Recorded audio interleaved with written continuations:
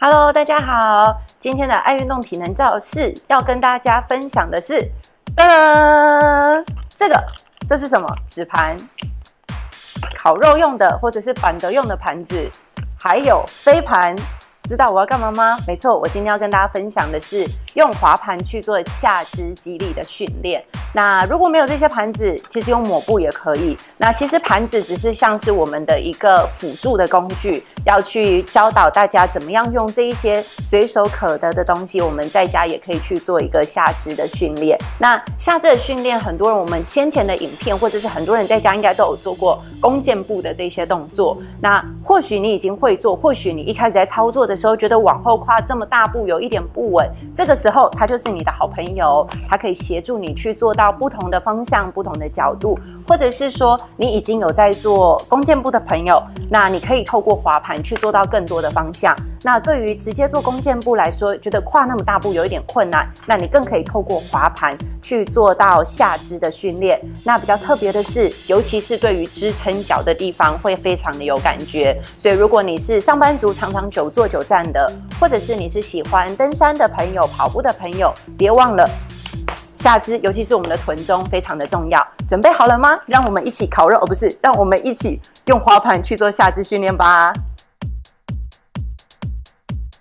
好的，在动作开始之前呢，先选择一个你要的盘子，或者是也可以用抹布，看你家里的地板的状况去决定。那就是那个摩擦力不要让你大到没有办法推动，但是又要是自己可以控制的范围。那我今天选择的是飞盘，把飞盘呢放在脚的下方，只用前脚掌放在呃盘子上面。重点在于支撑脚，支撑脚一定要确认你的骨盆、膝盖跟脚趾尖在同一个平面，尽量让你的膝盖脚尖是朝向正前方的。然后一样站姿还记得吗？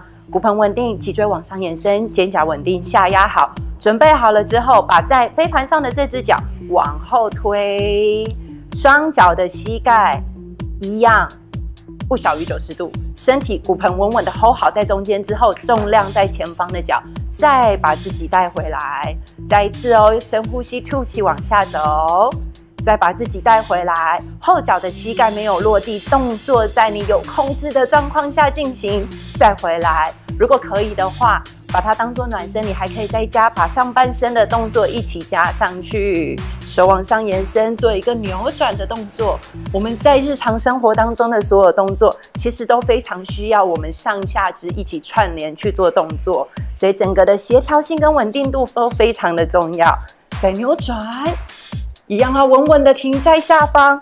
有在呼吸吧，再回到中间，是不是又开始感觉到你的臀部有一点酸酸的感觉？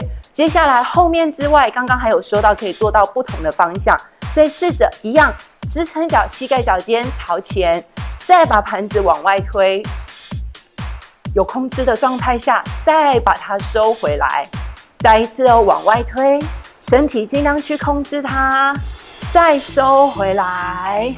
再一次往外推，还可以再更多吗？再收回来。好，这是往外的，也有往后走。膝盖脚尖一样维持朝前，再收回来。呼吸很重要，往后推，收回来。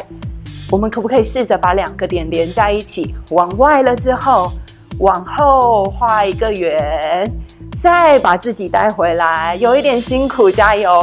长长久坐的朋友，喜欢爬山的朋友，一定要跟着我一起做。这个对于支撑边的臀中真的很有 feel，没错。好的，再多加一个斜后方的方向，像滑冰一样的动作，往后放，再带回来，再一次一样去维持身体的稳定。你有没有发现我在做动作的时候？身体都还是朝向前方，我的上肢也会做着一前摆动的动作，让我的动作更协调、更稳定。再一个呼吸，再回来，还可以挑战的，再跟我做一个动作，重心稍微往下放一点之后，往后推远，hold 在这里不动，再把你的脚带回来，开心，再一次往后，稳住哦，呼吸哦。再回来，最后一个，回来，好的，臀部大腿应该很开心吧？记得这个动作在做训练的时候，两边一定要记得平均的做到。你可以先去试着，呃，刚开始做可能觉得有一点害怕会不稳，你可以首先扶在稳定的墙壁，可以控制的状况下，慢慢的去增加动作的次数。那你可以先从十次、十二次，再往上去增加，再加上更多的方向变化，对我们的臀部训练会更有效果。